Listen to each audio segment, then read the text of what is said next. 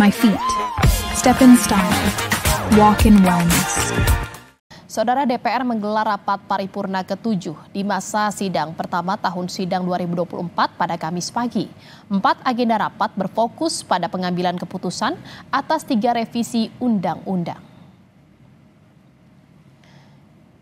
Ketiga revisi aturan itu adalah rancangan Undang-Undang Kementerian Negara, RUU Dewan Pertimbangan Presiden, dan revisi Undang-Undang Keimigrasian. Ketiga aturan itu telah disepakati di tingkat badan legislasi oleh seluruh fraksi. Selain itu, rapat yang dipimpin Wakil Ketua DPR, Lodwig Paulus, turut mengesahkan rancangan Undang-Undang APBN 2025 yang sebelumnya telah disahkan di Badan Anggaran bersama pemerintah. sampai 11 September 2024. Dalam pembahasan tersebut tentu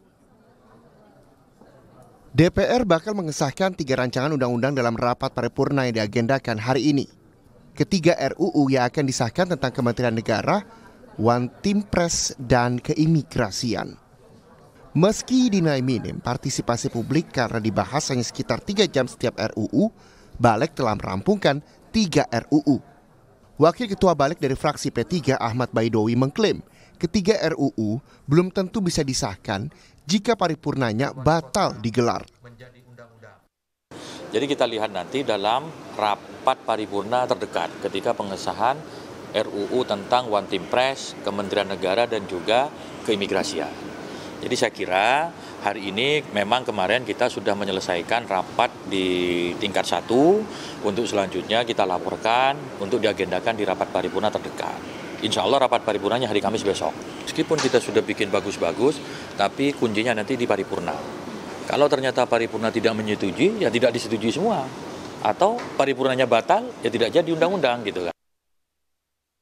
Dalam rancangan Undang-Undang Kementerian Negara, hal yang mengundang perdebatan adalah penghapusan klausul 34 menteri yang diatur dalam undang-undang sebelumnya.